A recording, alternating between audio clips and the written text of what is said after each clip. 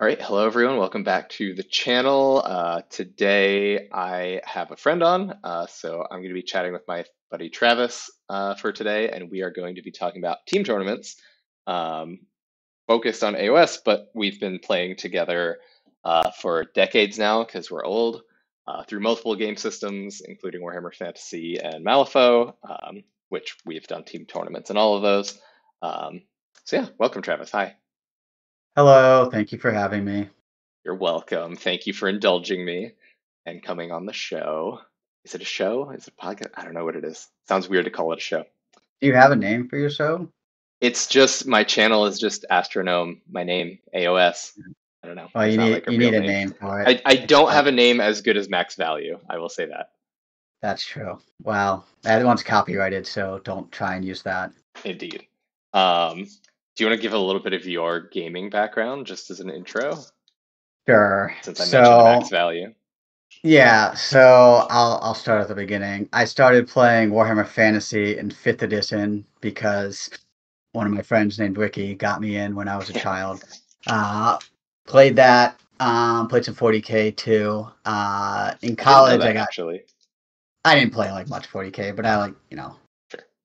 had some space wolves and shot some Gotcha. blast cannons. Oh, I do remember that now. Yep. yep. Um, I got pretty competitive into Warhammer Fantasy around the time I was in college. Uh, my senior year of college, I went to the European Team Championships, uh, trips in the United States, uh, which is a big.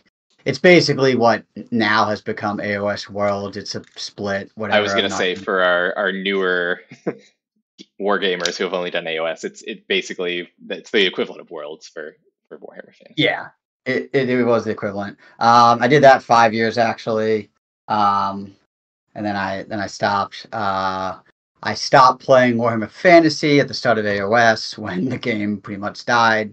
Uh, at that point, I got salty. yeah. At that point, I got big into Malifaux.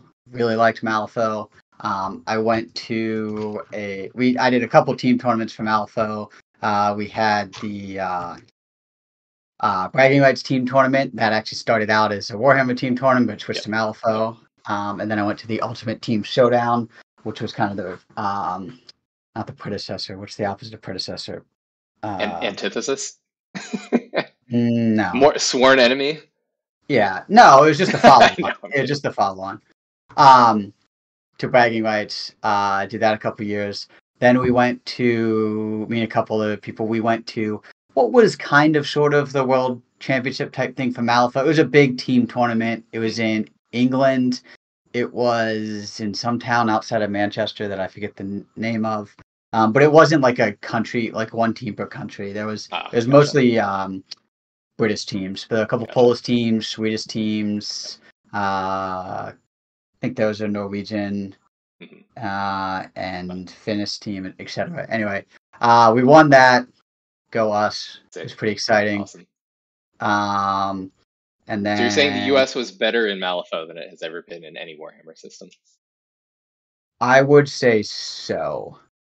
Um, we we won the first year they had that, Mhm. and then the next year there was another U.S. team that finished second or third. I can't remember if they were second or third. Apol- apologies, Diva. I can't remember if you were second or third, but I know you did well.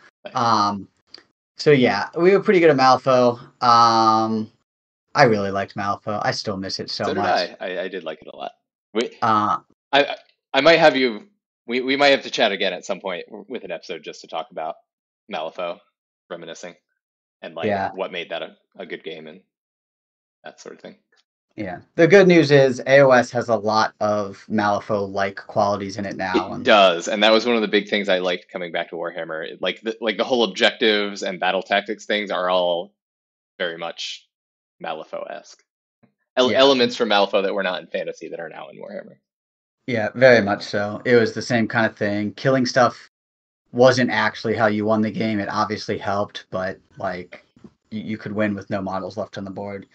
Yeah. So I did that. Uh, after a while, that I tried playing Ninth Age, which is like basically the fan made version of Warhammer Fantasy at this point.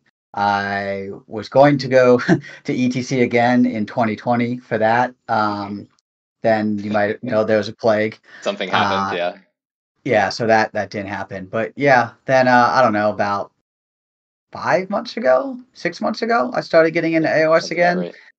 And I'm I would say I'm still relatively noobish at AOS. There's a lot of stuff I don't know just because I haven't played as much as I have all these other games. But Yeah, there's uh, there's a certain level of like I am just a competent gamer in general and know how games work, but then like on top of that you do need just a lot of game specific knowledge of like what else is out there, what are you going to be facing, like what can the other armies do to you that um that comes with just experience. Like I I feel like that's why I never really got good at Malifaux is I just didn't play enough games to learn what everything did.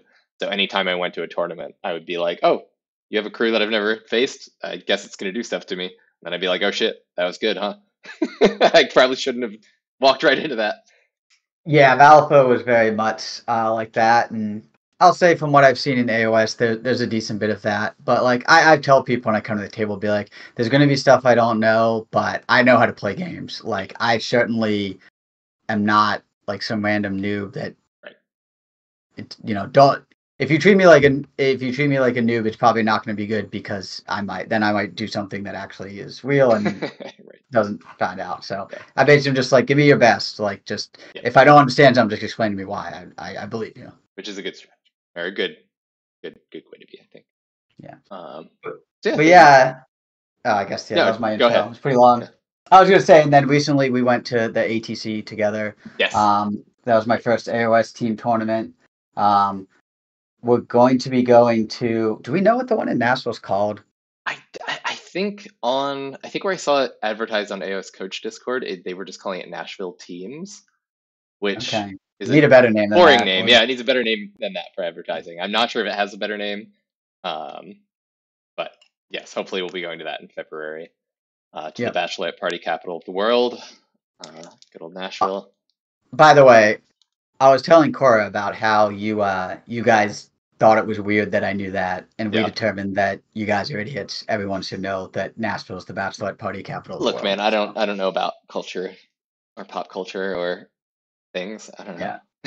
Uh, com- com- comment on this video if if you knew that bachelorette parties in Nashville were extremely common. Look, I, I had seen the we other adults didn't know that. I'd seen like the big angel wings on the wall that like everyone Mhm. uh, all the women take pictures with, but like I didn't know that was in Nashville. But like when you said that, I was like, okay, this makes perfect sense. I, I get. And that now it's becoming the bachelor party too. It's just bachelor bachelorette parties in Nashville. It's the thing. So yeah, so I, you know, similar to you, I, I played in bragging rights back in fantasy and Ultimate Team Showdown in Malifaux, and uh, I went to ATC American Team Championships um, AOS uh, last year in Chattanooga, and then this year as well. Um, we will not be going back next year, which we'll talk about a little bit later. Um, but before we get into that, um, I just want to talk about what, what in your opinion is the thing that makes a team tournament fun, like compared to just playing a singles tournament. Because I think team tournaments are like peak Warhammer. I, I love team tournaments. Yeah. So I'm gonna I'm gonna punt a little bit and not pick Sure. one thing. I'm gonna list several things because I don't Sure. want to pick. Yep, that's fair. So one, it's just the camaraderie of going with your buds, right? Yes. Um, you're counting on each other. They're counting on you. Yep. You're more motivated because you know I went to Nova a couple weeks ago and I didn't Mhm. prepare and I did shitty and whatever, but I didn't I didn't feel bad. Yep. I had no pressure. Right. Um, in a team tournament, you know, I I'm more motivated uh, to to be prepared and to try hard. Um, there is some bad with that too. Sometimes people do poorly and they feel really bad. That's kind of the the downside. But if you like the little bit of pressure, then it's good. And I mean, the other thing I would say too is is an aside. Mhm. Um, go with people that have similar goals to you. That's Yes, probably one of the most absolutely. important things. You do not want to be the one fluffy, like thematic player who just wants to like play their favorite units on a team with like three super tryhards who want to crush skulls and like win the tournament. And same the other way. You don't want to be like super competitive on a team of guys who are just there to like drink beer and have fun. So yeah, definitely got to find some some guys that you you fit in with their philosophy because I think both are valid approaches to team tournaments. Um, you know, not everybody wants to go and, and win. Some people do just want to go and have a good time. Although I think, I think generally it seems like people are pretty competitive. Um, two I've been to in AOS. Yeah, and I don't I don't think that's usually a problem. Um, usually people know and it's kind of like obvious, right? But um, it that would be my one word of advice. Um, and then the couple other things I like is that it kind of makes a whole new meta around Yes. things. Things that are good uh, in singles might not be as good. Things that are bad in singles might be a lot better. Um, I haven't put a lot of thought into this take, but as someone who recently got absolutely abused by your Seraphon list, um, and and when we were talking about it, and uh, as Jacob described, I think it's great describing it is Seraphon just punts down really well. They're probably like the fifth best army, but they get shit on by the four armies better than them, and they absolutely shit on every army below them. Yep. And it's really, really lame. Uh, so like they're never, they will probably. I- I'll take this hot take. They will probably never win a tournament in their current state right now. Yep. If they ever play an OBR, um, Null Myriad. or or so or even a regular OBR, I think they can still be. I think they can still lose to. Or Soul Blight, they just Mhm. lose and they're out. Um, in a team tournament, if the other team doesn't have two of the armies that counter them, they're just going to do whatever they want, and they're going to punch down on those on those poor, unsuspecting Yep. Slaanesh armies and such that just gets deleted by mortal wounds, and and they might do really well. Sounds Now- you're speaking from experience. A little bit, yeah. Um, so there's a new meta, and then there's also there's more to play for. So you know, I played in in that uh, Lizardman army, and I I kind of knew my only chance to win this game was to go in and uh, just to, to full YOLO in early hmm and try and try and win. Like one of us is tabling the other by the end of turn two, and that's who wins. Right. Um, and that and that that was I think the right play in the singles tournament because losing by s- seven points in the singles tournament Mhm. is, means nothing. Yeah. But uh, in adult in a team tournament, you might want to do that. You might Right. want to say, I'm gonna sit up in the other corner. I'm gonna get as many points as I can. I know I'm going to lose, but I'm gonna try to take that, you know, 20 to 15 loss that with the 20-0 scoring system in a team tournament is actually okay for my team. Like Right. they can still survive that. So Yep. it's kind of like another element, kind of like another game within the game too that you can do. Like I like I, I played in team tournaments where I got eight points out of 20 and my team was pumped with it. Yeah, right. Because yeah, in a team tournament, like getting getting one extra battle tactic in your game might be the difference between your team overall winning the round or not. So like, yeah, it's that that is an aspect I do I do like a lot. Um, to yeah, so to to explain to some people who don't necessarily know how team tournaments are generally set up and why that makes sense. Um, so so the ATC was fairly typical. So generally you have four people on a team. I have seen some with five. Um, world, you know, world, and then worlds is like eight. But let's discount that. Any any more local team tournaments probably gonna be four people. Um, often there's like a restriction where you can't all take can't all take the same army. Sometimes it's more restrictive in that like you can't take the same war scroll across two different players on the team. And then um, every round you obviously get paired against another team of four people. And this is where like the this is where the like extra meta and extra strategy of a team tournament comes in is you have to determine who on each team is playing each other. So um, generally people make like little cards and um, the way that the flow generally happens is each team will pick one army to be their like attacker army and put those face down so they're secret. Um, so you know, so the other team can't see when they're picking their attacker army. So then you would both reveal your attacker armies. Then, so you've seen you've seen what your opponent's attacker army is. You need to pick two of your armies to be the defenders against them. So you basically pick two of your remaining three armies to set against the opponent's one attacker army that they've revealed, and your opponent does the same.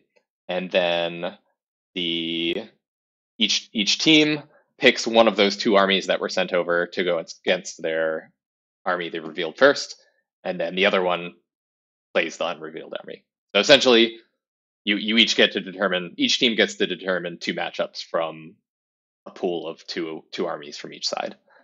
Um, so there's there's like a there's an extra meta just on top of the game of like like you were saying like some things that might not win a singles event might be amazing in teams because it's a skew list that you know can blow up half the armies in the game even though it loses to the other half but then you can protect it in the pairings process from the armies that it'll be bad against. So like there's this whole, the whole strategy like what do we show what do we send across are we like trying to do mind games and trick them which is usually thinking too hard and doesn't work yeah.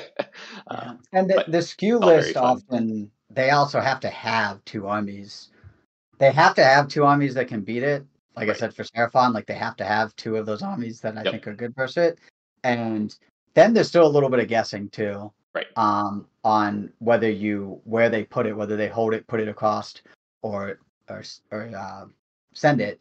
Right. And they they might you might still juke them there. Uh, yeah. So. Yeah, and that's like I said. Well, maybe we'll get. I'll, I'll make one aside about our ATC experience from this year, uh, which is that I think that's a that's a place where we strategize badly, and I hate to admit it, but you were right going into the tournament. Usually, yeah. Um, so I played Null Myriad, and we were like, all right, Null Myriad, you know, obviously it's very good against Starborn, um, which we were expecting a lot of Starborn. So we were like, ha, we're gonna like dictate the Starborn matchup because I have to worry about Null Myriad. But we didn't have we like we didn't have a second army that was like a solid win against Seraphon. So like, you know, the other team reveals their Seraphon and we're like, all right, we send Null Myriad over and another army. And they just pick the other army. And none of our other armies are like amazing against Seraphon. So the Null Myriad pick was kind of pointless because rather than us like getting to pair it into Seraphon, everyone was obviously protecting their Seraphon from it. And then it wasn't it was fine against other things, but like, you know, I played Khorne. Null obviously does zero against Khorne, Shit like that. Yeah. And they um and I mean we also were thinking too, like, okay, sure they can avoid it, but we'll get something else good out of it. And we probably did. It, it's hard to say exactly what we got by them doing it because it's a lot of what ifs and and etc. Yeah. But it didn't matter because we got 20 owed by Seraphon. So whatever we got, it was at best an even trade, right? Like yep. it was, if, if we just got completely wiped by that Seraphon, nothing we could have gained by attempting to trap it was a net positive for us. So yeah. Right. Um, so yeah, so that, that whole extra layer of strategy is fun. Um, did, did you have other things or should I continue here? I think I, I think I listed, I think I listed three at this yeah, point, right? So, so, so long way around, but yeah, right. I, I, wanted to expand a little bit on the the camaraderie thing too, um, sure. which is that um, you know ob- obviously not everybody. I don't want to make assumptions, but you know, most people have like a gaming group, and so going to a singles tournament, like you know, there's probably going to be some people there that you're good friends with, but even if you're at the same tournament, there's only so much you know there's only so much time to socialize between games and like you're you're focused on your game it's not like you're not paying attention to all your friends' games like during the round necessarily, unless you finish early.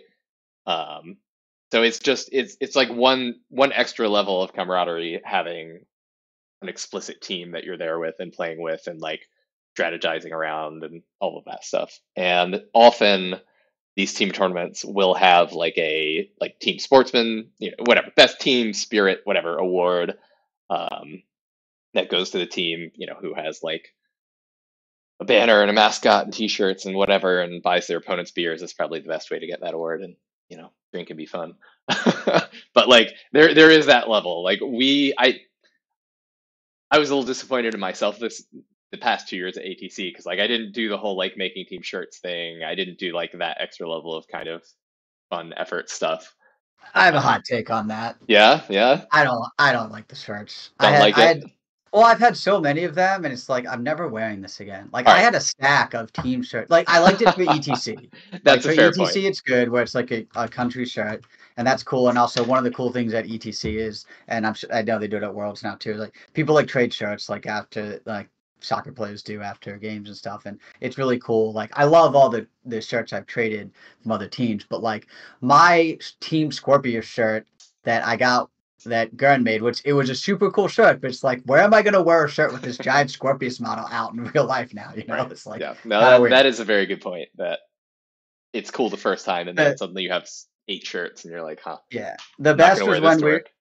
Well, the best is when we did Bear, Team Bear Force One, and we all got pastel colored polos because it was like we had a theme. We all right. had our pastel polos. Yeah. But then I'm like, I still wear my pink polo to work. You know, it looks good.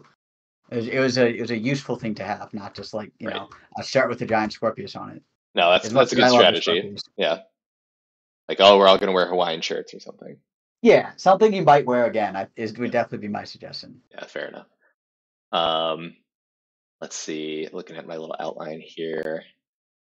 Um, I was gonna ask, do you have any like do you have any standout memories from team tournaments? Like a, a moment where something cool happened or like a particular triumph where like you all paired well and like won your games or like somebody won the game unexpectedly that they were supposed to lose and like won the round or just like know, a particularly fun team tournament. Um, I probably have a lot of these. I could probably fill a whole video with these. I, I figured you probably have way more than I do. Uh, yeah. First one that comes to your head. Maybe two. okay. Um, I will do the first one that I'm gonna try to explain as best I can without going too far back into like old fantasy rules and why they mattered. Sure. Um, I, I think we'll do a separate video on that yeah. for these I- I'll- AOS noobs. Yeah, basically, we were at. It was the first year I went to ETC. It was the first year there was ever an Amer- a, a true American team there, and we the first day did pretty mid, like I'd say super mid. Mhm. Um, we were in like 15th place out of 30 after the first day, but then the next day we we, That we were doing exactly really well. mid, in fact. Yeah, exactly. Uh, we crushed our first our round four game, and then round five we got paired with Switzerland at like I don't know. We probably would have been like in eighth place. Um, and I got paired. I was playing demons. Uh, it all demons were together at the time. I was playing uh, a vampire count sky, and this is back in the day where if you kill the guy's vampire, the whole army crumbled, and you basically auto won. Maybe if it happened Yes. in the last turn, they could survive, but it was really really bad. Anyway, um, I'll skip the story, but basically, I had a pretty very unlikely set of events where my Nurglings just rolled a shit ton of poison attacks on this guy's vampire lord. Um, and they almost he was down to like his like last wound. They spiked really high. Um, and it was also like closed list at the times too. So like I didn't really know his list. Hmm. And uh, you know, I went to go attack again and he was like, Oh my god, my guy is like immune to poison. And I was like and it was one of those things I was like, I literally didn't know. Like lists were closed. There was no Yeah. way I could have known. Um, blah blah blah. Yeah. So, you know, and it was like several turns later, and we were just like, and it, this is a competitive thing. So we are like, yeah, Mm-hmm. like it sucks, man, but like, it's not even like I knew and didn't remind you. Like, Right. I literally did not know your list. Yeah. So anyway, so he, but he's like, okay, I'm feeling good now because you were killing me with poison. You're probably not going to get wounds because I like needed sixes to wound him anyway. I needed like five Okay. to hit sixes to wound him. Oh. Um, yep. so it was really hard for me to wound him otherwise. Yep. Um, anyway, I've I had these little smiley face dice, and I, I like I had like a couple attacks, and I got one six through, and then I got a I like one hit, and I rolled another six, and he failed. He had like a four four up save. He failed it. He died. Game over. Um, but this was like in the first like this was in like the first hour. So like I won. I told my whole team we're winning. And then I got to do the thing, which is probably not common in like four man team tournaments, but you often have like a non playing coach, uh, a captain in a uh, in an eight man team who can kind of walk around and like I don't know how they do it for AOS actually at Worlds, but for fantasy, you allowed to say certain things. You were like, "Hey, so and so's winning, so and so's losing. Mhm. Um, you can you should go for a big play here, or you should play it safe, or etc." Sure. And then they eventually Like the coach can't it. come in and play the game for you, but they can be like, oh hey, like you only need a small win, so just like don't take a big risk or something. Yeah, yeah, exactly. And they actually eventually did it for ETC. I don't know if they do this for Worlds, but every player would get like one, I think, three minute timeout Mhm. where you actually could talk to the coach about anything you want. Like you could say, like, hey, move these guys here, Mhm. do this, flee this charge. That's not a thing anymore. You know, go for this charge, move them here, go for this play, and like plan it all out. Right. Um, like you could only do that once per game, and it was only for a couple minutes. But yeah, it was it anyway. It was really fun. We didn't have a non-playing coach that year because it's our first year. But like after that, we realized like, hey, this is really helpful. It really helps your team. Mhm. So I got to do that. Um, and then I guess the next thing to I'll tie the story all together is Sure. um, we we won the round big. We got to play Denmark on. I guess we were technically on table two in the last round. Um, but uh, Denmark was in first place. They had played the two teams in second and third already, so they played down to fourth, which was us. We played them on table two. Uh, it was a really close round. We we ended up going down pretty big, but we had a lot of games that were really close, and um, they ended up winning our ETC. But we were just really that was not the highest finish that Mhm. America ever had at ETC. We finished in like tenth, but in my opinion, that was the closest we ever got Yeah. um, to a good finish because we were Sure. there. Because you Like, we lost to the first place team in the last round. Yeah, and we could have, if we had won there, we would have made the podium. Uh, we obviously didn't, so it doesn't count. But you know, it was it was fun, and like we were all just real inspired. Like we were Mhm. we were really pumped after Yeah. that. So that was more than one moment, but Sure. No, no, it's good story. Um, it, it's funny. I so I was trying to think of an answer to this question, and one of the things, one of the things I was always impressed by in like fantasy and Malifaux is like you and a couple of our other friends who've like gone to ETC and things. Like I feel like, like I feel like you you all could like pull out a memory of like something that happened in a game from like five years ago. And I'm like, man, I can't remember what I did on Saturday. like I, I mean- definitely don't remember like shit like that from gaming. And I feel like I've I feel like I like getting more into competitive AOS and like taking notes of my games and things. Like I feel like I'm at that point with AOS now where I'm like, oh yeah, I remember like, you know, I was at I was on the top table at this little one day tournament a year and a half ago and like I remember turn four this thing happened and blah blah blah. Um, yeah, I mean, do you want to know how long ago that story was to make you feel real old? Yes, I do. It was 13 years ago. Yep. It's 2010. 2010. So- So right after we graduated from college, I guess that summer. Yeah, I used I used the money my grandparents gave me for graduating college to buy my plane ticket. Amazing. That is that is fantastic. Mm-hmm. Um, so yeah, that, yeah, for sure. Um, yeah, I guess my point there is I don't know that I have like a good I don't have a good like team tournament story. Wasn't the wasn't the pocket burrito at a team tournament? I feel like that was at Mm, like Ultimate Team Showdown or something. the- Larry's the pocket po- burrito. the pocket burrito was in Alex's basement, Alex's parents' basement, Mm. practicing for E ETC 2014. see. Anyway, the the sour cream burrito story, which ah, see, I'm mixing up multiple Chipotle burrito stories. which I don't even want to go into here. Um, Fair enough. That was at a regular tournament in I. Providence. Got it. was at Captain Con. Or not Captain Con. Um, what was it called? Temple Con is what it was called before that. Gotcha. Yeah. Well, anyway, I hope to have I hope to have good team tournament stories uh, after after Nashville.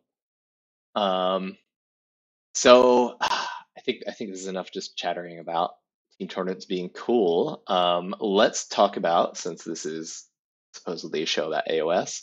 Uh, let's talk about the one AOS team tournament we've been to together, uh, ATC, the American Team Championship in Chattanooga, and break Noog. down the Noog. Yes, the Noog. We went full Noog.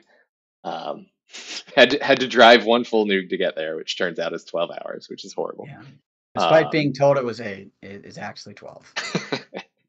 um, yeah, so ATC. So I went. I went two years. I went 2022. The first year, I think they were back after the pandemic, and then this year, um, with largely the same group. Um, but you you were here this year instead of one person uh, on our team from last year, um, who Yeah, did end up going anyway, um, on a different team.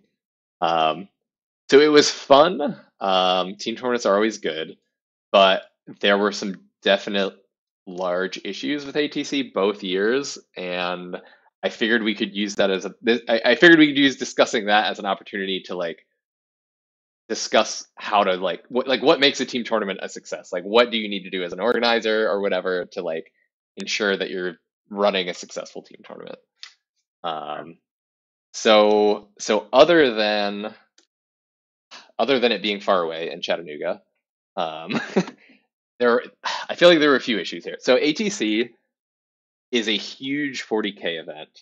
First of all, Yeah, like 640k players. yeah, yeah, there were there were there were at least 540k players there on five person teams. Um, I think. Oh no, I guess no. I, I think they said it was 350 actually, but still. Yeah, the no, you're right. There, there was like there were like 75 40k teams, and they were like five Yeah. person teams. Yeah. Um, Either way, so it's a very large number. Yeah, so it's a huge 40k event, and I think part of it, part of the issues with ATC is that the AOS event feels like a bit of an afterthought. Like it's a huge room full of 40k players, and we're like off in a little corner, and I don't know if the organizer has like more of a direct hand in running the 40k event. I think he must, but for AOS, both years, it was very much like at, at least at least as far as I could tell from the outside, it was very much like, oh, ATC is like a month away and I haven't gotten an AOS TO and like I'm not going to TO AOS, so I need to find a TO and like had to find someone like extremely last minute to like pull this shit show together into something resembling a decent AOS tournament. So like two months, you know, two months before the AOS tournament in 2022, the rules packet literally had rules from like second edition AOS, which was multiple years out of date at that point. So like the person, you know, the person putting together the packet obviously just recycled the packet from like 2019, the last time they had run it, and like I don't know, didn't even know there was a new edition of Age of Sigmar. Um, so tournament packs are, are pretty important. I, yeah, um, and it's important to have them like a like a reasonable amount of time ahead of time before the tournament too. Yeah, I uh I ran a tournament from Alpha. It wasn't a team tournament; it was a regular tournament. But uh, I put a lot of time into that tournament pack. Like, made sure that it was like I read it over like seven times, even though I hate proofreading stuff. Like, I I read it more than I read an email I would send to at work. You know, Yep. for something important. So Noble sacrifice. yeah, well, it's important because it it's kind of your like almost your I won't say get get out of jail free card, but it's your Mhm. like fallback. If anyone ever complains or about any, you can be like it goes in the pack. Right. Yeah. If You you can point to the pack and be like, you should have read the pack better, you're like, you're you're good. Yeah. But what you don't want, it, on the other hand, though, it's also the gotcha that can get you. Because if Mm. someone brings up the pack and says, well, the pack says this, and you've forgotten it's the TO, then I guess you're screwed. yeah, sure, you can do the thing where you're like, okay, um, no. And, and you, you might need to in certain times, but like that's just not the position you want to be in as the Sure. TO. Yeah, for So. sure. Yeah, so that was an issue. I will say both years, the person who at the last minute stepped in to be the TO, I, I can only assume they got paid, um, did as I, I wouldn't assume that. Maybe. I mean, hopefully, but I I don't don't, know. I, I hope. Well, okay. So I know. All right. So the first 2022, James O'Brien stepped in and ran it, and he runs events like as a pseudo part-time GW employee, I believe. Like he runs things for GW. So, um, you know, the guy who runs ATC, Shane, was apparently like contacting GW, like asking for TO, like three weeks before the event or something, and and James stepped in at the last minute and did what he could to pull it together. So I assume James didn't get paid, or or if he got paid by like GW or something for for doing this. Um, Yeah. This year, um, a guy named Carl, for, who I guess runs tournaments down in Florida, ran it um, and did a decent job. I have no idea if he got paid. Maybe maybe this was out of the goodness of his heart, and he came up with some people from his club who played in the in the tournament. I, I hope I hope he did. I just I don't know. Yeah, I hope he did. really. Um, part of this whole last minute thing, um, also bad thing. Uh, I, I probably the hardest part of a tournament, running a tournament, is having enough good terrain for all of the tables, and the terrain 2022 at ATC was just hot smoking garbage. Like this was like this was like hills made out of packing foam that somebody made for Warhammer Fantasy in like 2005 that like they pulled out of the basement to throw on tables for this AOS train. Like it was not acceptable. it was just not good. It was awful.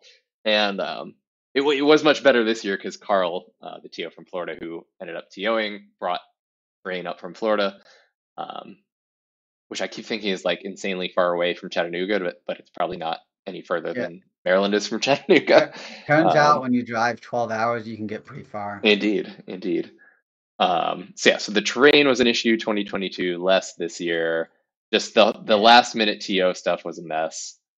Um, I would I would say on the terrain thing too, like Mhm. it's not necessarily like that's the barrier to entry for anyone running a tournament. I would say that's that's like the biggest like gatekeeping thing. Yep. Um, when I ran a tournament from Alpha, I was super lucky.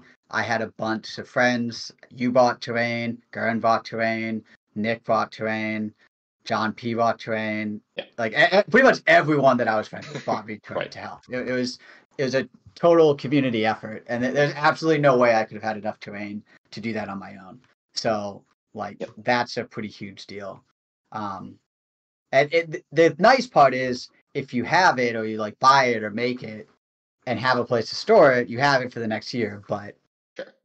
It, it's definitely the big barrier of entry for anyone Yep. wanting ever wanting to run a tournament. So I feel like this is uh I feel like this is like the gateway drug, like like Diva was talking about, in chat about regiments of renown today. Like, oh, you get this nice little this this little group of units that you can use for 400 points in another army, and like at that point, you only ha- you you have a quarter of an army. You might as well build that out to the rest of the army. I feel like that's that's like the gateway drug for TOs. Like, all right, I managed to get enough terrain together to hold this tournament. I guess I better hold another goddamn tournament because what else am I going to do with all this terrain? Um, I don't know. Anyway, um, yeah. I, one of the other. All right. So so more more things about ATC. Um, last year there were 14 teams, and like obviously just massively absurdly smaller than 40k, but like 14 teams was like reasonable. Like you know, played we played four rounds. Like you know, you have a pretty clear winner. It's enough teams that like like we went with three teams I think from our group in Maryland, and like 14 is enough that like maybe you can get away without playing another team that you drove 12 hours with. Yeah. Um, this year So was the only eight yeah, so the teams problem there that is a real problem is the I think combinatorics is the right word. hmm It for doing pairings with that few teams gets really rough It does in like the last round, especially Yeah. when you know obviously each team has played three other teams at that point, and there's only four left that you could possibly pair with. Yeah, Yeah. the combin- combinatorics is the right word. That does get real difficult and like almost starts to break down. So, like for example, the yes, team at ETC or ATC this year, the team in first place had to play the team in fourth place. Uh, because they had already but beaten the second and third teams, I think, right? yes, they no, they sorry, they had to play the team in fifth place because they had already beaten second, third, and fourth at that point. Right. So they paired way down, Yes. and then second and third have to play each other because that's the next highest pairing. Right. And then our team was in fourth, and we paired all the way down to. We had played the team in sixth, Right. so we played all the way down to seventh. Yeah. Yep. Yeah. So this. Yeah. Right. And and the teams in second and third were like upset about this, right? Because I mean, they weren't like they, they weren't they under, upset, but but they were like, "Oh, this kind of sucks." yeah, And no, right. Like exactly. The, it the yeah, worked out in like the shittiest possible fashion for them because like you know they're sitting in second and third.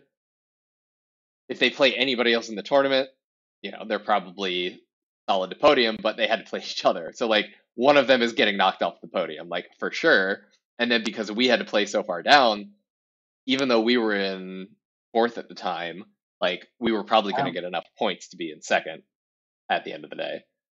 Um, unfortunately, the other issue with only having such a small number is yet another thing that went wrong was that when you only have eight teams, it's it's a big problem if somebody drops from the tournament. And I would argue it's always a problem it's always a problem. Sure, team it's always a problem for a team tournament, especially. Um, like I don't even like people dropping in singles, but I get it. Like if it's a singles tournament with 60 people and one person drops like day two or round five, like whatever, it happens. Um, it's probably not affecting the outcome of the tournament in any significant fashion because it's usually people down near the bottom that are dropping. But yeah, at ATC this year, two of the eight teams just bailed early and were like, we don't want to play round four. One of them at least told the TO this and was like, hey, we're dropping, like, we're going to bail. It was still lame and shitty because they were going to play one of the other Maryland teams, and we all drove 12 goddamn hours and paid $100 each to play in this tournament to go and end up playing three games, one of which was against each other. Like, just awful, like, value for money there. And Not not max value. Not max value at all. I would even say min value. And the other team that dropped didn't even tell the TO. This was the team that we were supposed to play, did not tell the TO they were dropping. I was like walking into the hall for round four and saw three of them walking out of the hall, one of whom had their like army like in their pack, like on their back. Like they had like the you know backpack army case thing. So so I'm like walking in and I see them walking away and I was like, that's weird. Like maybe they're just running out for like, you know, trying to grab a real quick lunch before the round starts or like whatever, but like kind of weird that the person has their their army on their back. Like I, I hope they're not leaving because I want to play the last game. So so yeah, the fourth round is like it's time to start and they are nowhere to be found. They haven't told anyone they were dropping. Like three of their armies were still sitting on one of the you know the tables, not not the tables we play on, but like one of the tables just behind. Um, and so I'm like, what the hell is going on? And at that point, our friend Gern's like, you know, our team dropped, like, but we had we like we had already played Gern's team, so it's not like if our two opponents both dropped, we could then play each other because we'd already played. We play each other all the time at home. Like we won't, don't want to do that. So then we had to figure out what to do because, like you said, the pairings. First place had to play like fifth, down to fifth. The second and third place were going to play each other, and then we're suddenly like out of an opponent. Like we don't have anybody to play.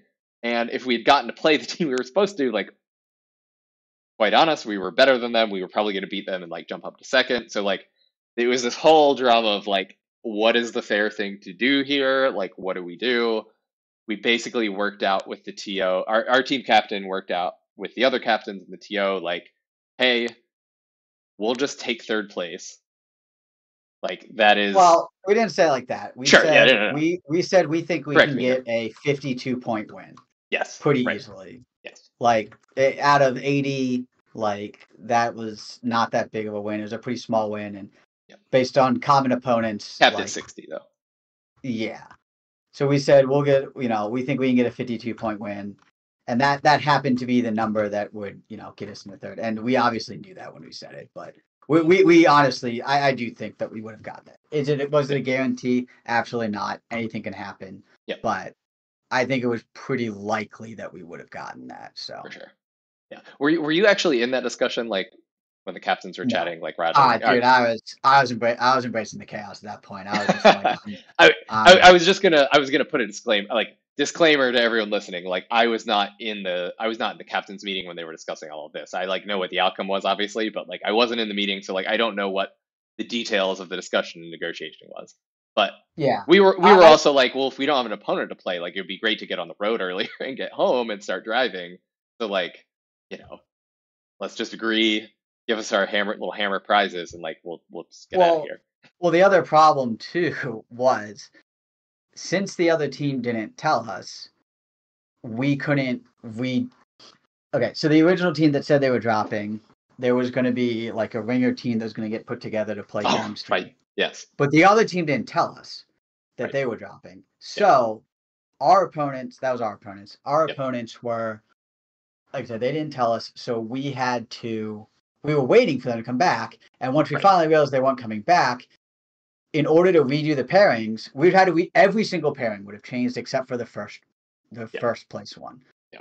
Which and the other teams already started playing because right. they wanted to move on and like it was time. Right. So, and like once- finish the tournament on a Sunday afternoon when we all have hours and hours to drive home. Yeah. So once they got once that like kind of realization happened, it was it was too late too. Right. Yeah. So anyway, it, it ended up it ended up the negotiation was that we were gonna take third. The TO ended up, you know, TO was like, let's you know wait the full wait the full amount of time that the pack said Yeah. This you goes back had to the before you forfeit the round. Exactly right. Yeah. So the, the tournament pack was like, oh, you know, if you show up 15 minutes late, it's like a whatever. It's like points penalty or something. And then if you show up 45 minutes late, you know, whatever it is, you show up 45 minutes late, you've like you've you forfeited the round. Yeah. But he was So like, he was like, "Let's do that," because that's that's kind of his like get out of not get out Jeffrey, but again, Yep, that's his like no one can bitch about this. In the rules. You agree? Exactly. And well, right, and that was the other thing about the negotiation is by the tournament pack, if they forfeit the match, we just get full our full 60 points for the round, which would definitely make us second. and I mean that the way the math works out, but we were like we were like, look, we're not like we don't want to take second and not play a game. Like we will just take third. So like I don't think it was greedy for us to be like just give us third and we'll leave. I think it was a Uh, reasonable compromise. Yeah, I I personally didn't care where we I, finished, I didn't but either at Oh. that point, but it if I like I wanted to place well, but like I wanted to do that by playing a game. It was just it was a no-win scenario. Like it was gonna Yeah, feel bad either. Like any way it happened, it was gonna feel bad because we didn't get to play a fourth game. Like it was gonna suck for somebody, no matter how it all worked out. Um, and then so we're like, we had worked out with the TO, like, this is how we're handling this. This is the plan, yada yada. And then I guess the TO was like, all right, I should like, I should just out of politeness run this by the overall ATC organizer, Shane. And like, we're like getting ready to go, like we're gonna grab grab our trophies and, and bail and start driving. And then uh, apparently, at you know, at the twelfth hour, whatever that phrase is, at the last minute, hour. at the last minute, it sounded like Shane was gonna like totally override like what the captains and the TO had agreed on as the like you know overlord of ATC.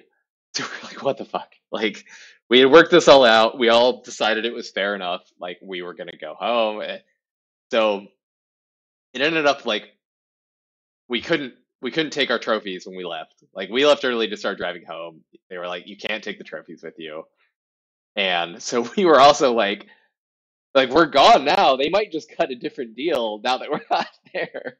So our, our friends were, you know, our friends who stayed till the end until the award ceremony were trolling us a little bit, and we're like, oh yeah, they decided to like not give you anything, but we we did end up getting third by, you know, we what was it? We were two and one at that point as a team in in team pairings, and so we we we were likely going to end up three one. We ended up taking third, but it was just it was such a mess. It was such a shit show.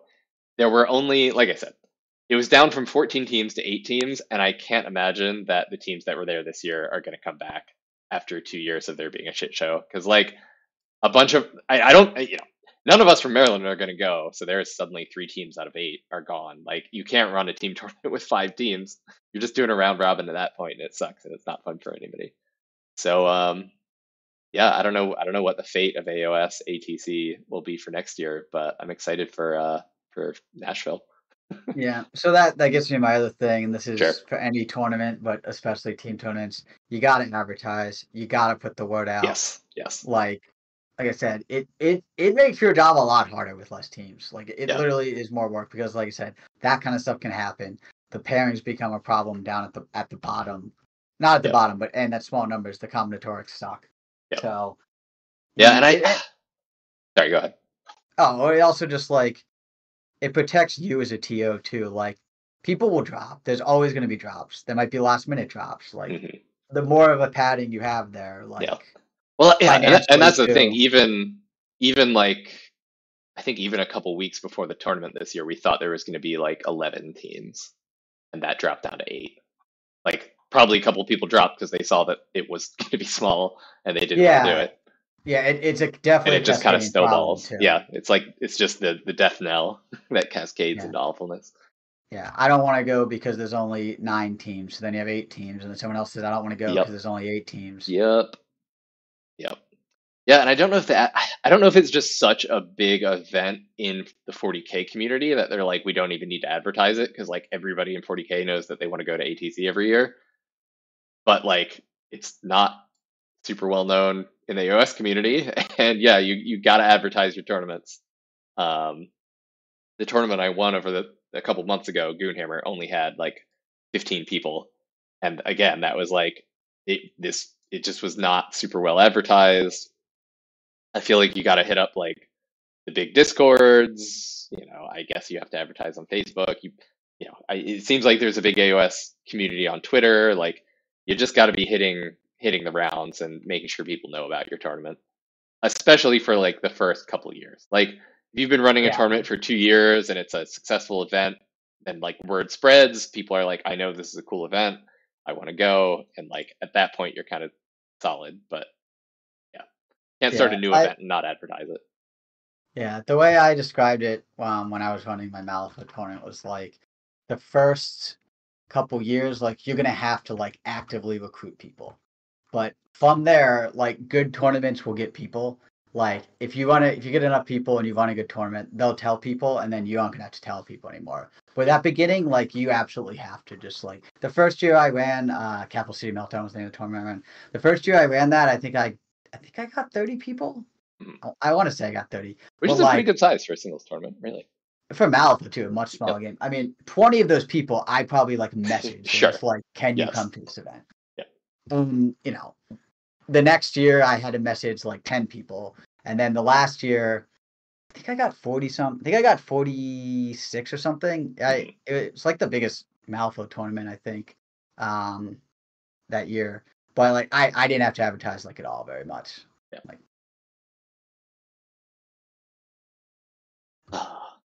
yeah, tournaments, So, yeah. funsies. So, yeah. Yeah. So anyway, yeah. Summary: ATC, all sorts of problems. It was still a good time, but you know, not not. It wasn't a good time because of the ATC organizers themselves. I don't think, and and I'm not including the the last minute TO who stepped in to run uh, run things in that. It was a good time because we went with a group of guys that we know. We played fun opponents. Team tournaments. Team Warhammer is just like inherently fun to me. Like it was a long ass drive, but like I made a little, you know, I made a little chart so that on the way down we could talk about pairings, and I had some colored pens and was like, all right, this army, and we had the list at that point. So I'm like, is this green for you? Is this yellow for you? Is this red for you? You know, kill kill two hours of our 12 hour drive that way. uh, yeah, I don't know. I just tried a couple fun. more calls and while when you're drinking claws. yeah. Uh, the good news is Nashville is much easier to fly to and much cheaper to fly to than Chattanooga. So I don't know if it is Cheaper. cheaper, but it is easier. well, I I can fly direct there on Southwest, which I could not do to Chattanooga, which Yeah, is my I- metric because I can just use points. Yeah, I almost went there last year for a hockey tournament. And I remember looking at tickets and being like, "Holy crap, this is kind of expensive." Plus, And you, up- you could you could also just hitchhike on a stretch limo full of bachelorette partiers. True, but So it's really easy it, to get there. It was like I said, it was. It's still expensive, but it's a lot more convenient. The problem with Chattanooga Yes. flying is the flights were both inconvenient and expensive. They were all at, Right. ridic- at, at very inconvenient times. Non-direct all had, flights. like, non-direct flights. Yeah. Yeah. Nashville, and, and like you could fly into. Atlanta instead, but then it's still like an hour and a half, two hour drive to Chattanooga from there. It's just like it was a mess. Yeah.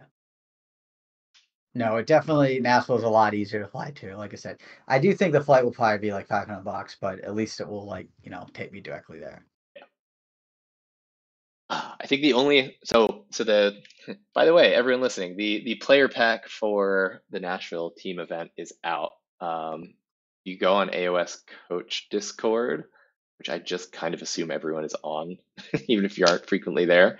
Um, there's a there's a North America channel section, and under that there's the North America events, like list of events and threads, and so there's a Nashville teams um, post there that has a link to the tournament pack. Um, it looks pretty decent so far. I the only thing, the only weird thing on there so far is um, they have, you know they have a stipulation that like no duplicate um, warscrolls, but also like enhancements and things like battalions between the teams. And I, it sounds like that means like no only only one person on the team can have a battle regiment, which is a little weird because like so much of AOS, I believe, like so much of list building AOS is like I want to be low drops.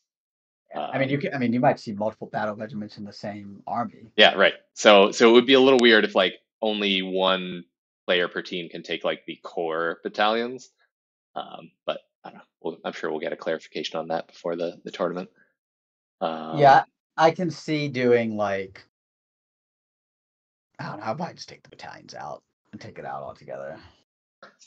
Um, and I think it's being run by Jacob Berry. Do you know him? I Yeah. remember you know him from like I know him. back in the day. Yeah, he was a he was a fantasy player. Um, I think I met him for the first time at the first U.S. Fantasy Masters, and then I went out to Hengel's tournament, Quake City Rumble in San Francisco, in 2015, I think. And I don't think I think he just helped Hengel on that. I don't think he played in that one. I think he just like was you know helping him because it was a pretty big tournament. So you Mhm. kind of need two people. Um, and I hung out with him a lot there. But no, I really like him. He moved. He lives in Nashville now. Gotcha. So yeah, I definitely um have full faith in him. Sweet. Um, it'll be it'll be good. Excellent. Yeah, everybody listening, go to go to Nashville teams. Hope to see you there. Um, yeah, I think it's probably a good time to wrap up this discussion. Um, I feel like there's one or two things I I probably missed that I meant to mention, but that's fine. Um, I would like to chat at some point just about like like th- there are people in our AOS group who like never played fantasy, which is weird to us because like like you said, we started playing fantasy in like 2000, fifth edition when we were in like middle school. Um, Uh, it was 1999. 99, yeah. So I, I feel like it would be fun to just like do a do a 45 minute chat of just like the top 10 rules from fantasy that like people in AOS would it would just blow their minds. And the one you mentioned today, like the the vampire counts, you know, the equivalent of Soulblight Gravelords in fantasy. Like if you kill the vampire counts general, their har- their whole army just dies. Like that is a great one. Like that is that just sounds absurd to anyone playing these days. Hmm. Imagine if those 160 zombies all just automatically died if you killed the vampire lord. Ima- imagine if at the end of every battle round you rolled two dice and subtracted two, and that's how many zombies died. Fantastic. It actually probably wouldn't even matter for zombies. That you it actually they'd probably still be fine. Yeah, yeah, So there's whatever. 40 in the unit. They're, Yeah, it, it's it's no big deal. Um, and there's less turns in the game too. There was six in fantasy, so True, true. God, oh man, I actually I forgot about that. All right. Anyway, let's let's save these. Thank you for coming on, Uh-huh. Travis. It's always a pleasure Sure. to talk to you. And uh, you don't mean that, but I appreciate it. fair, fair. Look, I'm being polite for the stream. Yep. All right. See ya. Do it for the views.